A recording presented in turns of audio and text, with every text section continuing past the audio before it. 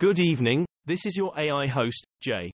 I'm here with the automatically generated, Journato, evening headlines on June 27, 2023.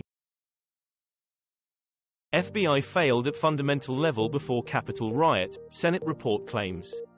BBC, Senate report details January 6 intelligence and law enforcement failures.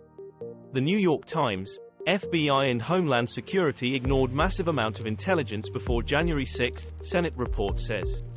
The Associated Press, FBI and DHS failed at fundamental level in warning of January 6, Senate report. ABC News, FBI knew Proud Boys were prepping to kill people, did nothing.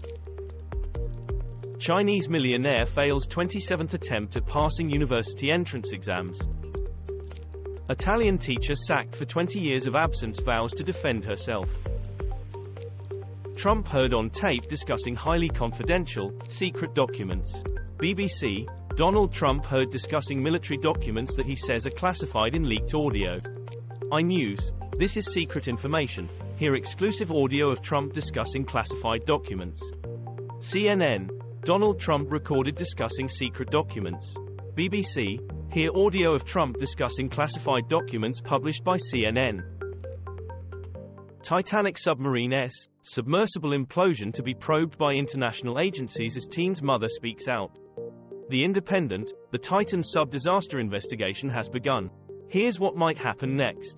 The Conversation Indonesia, OceanGate Titan tragedy, grandson of Derbyshire Titanic survivor speaks after submersible implosion. Derbyshire Times, Titanic sub, Nine unanswered questions in deadly Titan implosion.